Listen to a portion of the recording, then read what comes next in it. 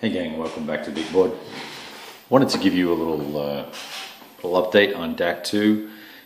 We're playing the 7.4 uh, scenario and we're on the 19th of June, the end of that turn. In fact, we're ready to roll over to uh, the 22nd. And it's been a while since I've done an update, and primarily that's been because I've been doing uh, turns fairly intermittently, mainly, uh, say, you know, uh, the Allies on one day, and then two or three days later I'll do the Germans, and then a week may go by, and so it's taken me probably, I guess I'm probably three weeks to play the last six turns primarily, you know, not, not because of any dissatisfaction with the game or anything like that. It's more that I've just been busy. Uh, had uh, uh, various bone breakings in the family with my son hurting himself and I hurt myself and um, busy with work and bits and pieces and plus uh, lots of interesting games coming in the door lately. So uh, it's been a, a, fairly hectic time in the, in the Sharp uh, household. So what has transpired, and let's kind of give you a feel for the flow of the game versus the specific mechanics of how we got there. Uh, the early in June, uh, there was a, a big push uh, by the Germans to try and en- encapsulate the uh, Bardia Sollum area and the the Allies had uh, done a good job of holding the line all the way over here, and had uh, started to populate some hedgehogs. In fact, I think some of these have moved because I, had to adjust the map. The map was slipping underneath, and uh, they may not be in the exact positions where they were, but nevertheless. Uh, uh, so, uh, so, they tried to populate this and then really found that due to attrition and the Greek campaign and uh, with regular withdrawals, the random withdrawals, that uh, there just weren't enough units to prevent the ever-growing forces that were coming this way. You know, we've got the 15th Panzer, we've got uh, the 5th LE, we've got uh, a reconstituted Ariete division here, I believe, uh, an extra one or two Kampfgruppe leaders, which gives us uh, some additional flexibility, and uh, then we got a, a bunch of a uh, couple of really good rolls for replacements, and so any losses that have been taken by the Germans were fully replaced. Uh, supplement that by uh, part of May was chewed up with uh, simulcast turns, which meant a lot less supply was used, which allowed the Germans to stockpile some supply and move some supply from Benghazi. June allows us to move six, um, have six supply moved into Tripoli per turn, and that has then allowed us to kind of trickle in some uh, some for, some uh, additional supply. So what did all that mean? All that meant was that with some uh, ever stretching, uh, uh, probing attacks by the Germans, that uh, once they got around this area here, the uh, uh, the Commonwealth realized that it was a untenable situation and gradually pulled back. they probably could have held out and fought, but in the past, in the past, the Allies have just done really poorly going head to head. So, and in fact, that's why we reset the entire campaign from the 7.2 start was because of that head to head conflict not going well. So, what we've done is managed to retreat in fairly good order. If you look at the uh, you know situation here, there are a lot of units, although unfortunately some here have now been uh, partially pocketed.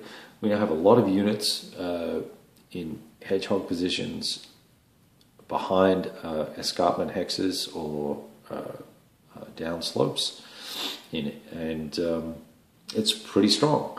There is a opportunity to let me just zoom out of here carefully. There is, of course, an opportunity to do some sort of end around here.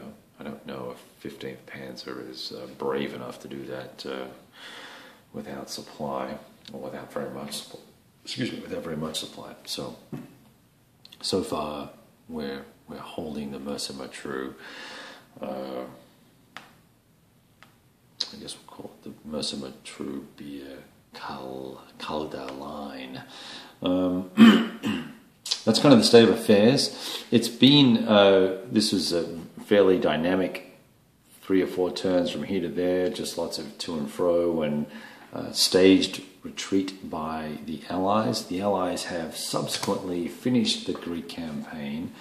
They've started to roll well for PAX uh, so that uh, they can bring in some replacements. They also got the Tiger convoy, which has allowed them to replenish their losses fairly significantly. This is now the Deadpool here on the right. These are the units that have been removed, a very high removal rate uh, for uh, uh, for folks. Um, although we now only have three units over here that have been removed and have the opportunity to recycle them back, but one, these, and all of these guys are lost and not coming back, and we're awaiting the opportunity to rebuild some of these. South Africans have joined the battle, and uh, both first and second uh, divisions. So it's becoming a slightly more balanced game in terms of uh, total uh, combat factors at play.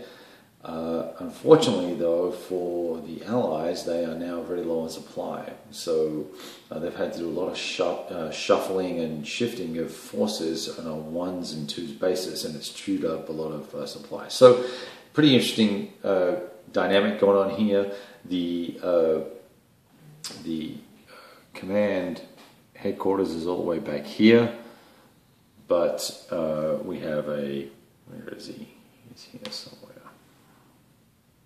Hmm. Here he is. The Italian headquarters right here, who is uh, throwing supply to some units. Um, but he can't, uh, I don't believe he can feed the, uh, the Germans. So we're at the point where unless these guys are within range, then they're either out of supply or they are indeed uh, unable to pull uh, ammo and things like that if they're if they're out of their five hex range.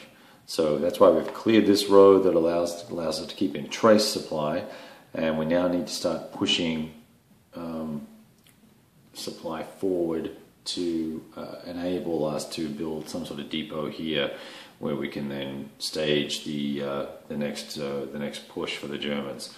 The Allies, on the other hand, are going to have to work out if they want to hold here or pull back to the really the last defensible line, which is in fact uh, Alamein.